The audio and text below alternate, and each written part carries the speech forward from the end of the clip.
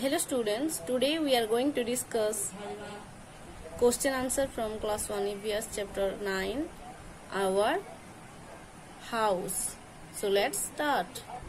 Ans number D answer the following questions. Number 1 why do we need a house?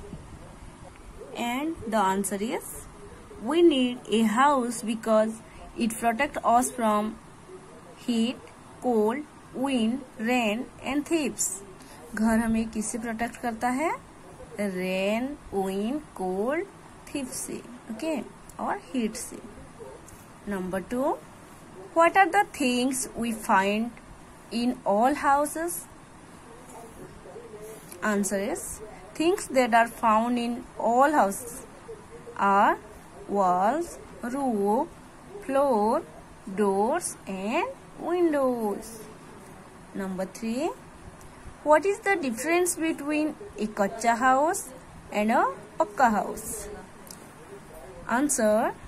A kacha house is made up of mud and wood while pakka house is made up of bricks, cement, wood and steel. कच्चा house मिट्टी और लकड़ी से बना होता है और पक्का हाउस जो होता है, वो सीमेंट वुड ब्रिक्स और स्टील से बना होता है। Okay now come to the question number four name the difference rooms in a house a answer is a house is usually divided into different rooms as bedroom bathroom kitchen dining room living room and dining room So students, now come formative assessment. Question A. Cross the word object in the picture. So students, look at the picture and cross the object with odd.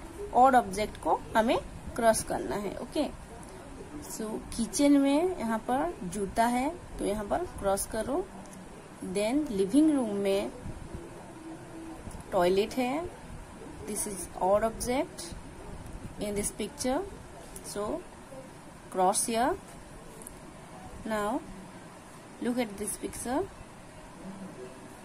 bathroom में vegetables है so cross here now come to the question B color the picture of a house so students ये तुम्हारा homework है यहाँ पर अच्छे से color करना color it nicely okay this is your homework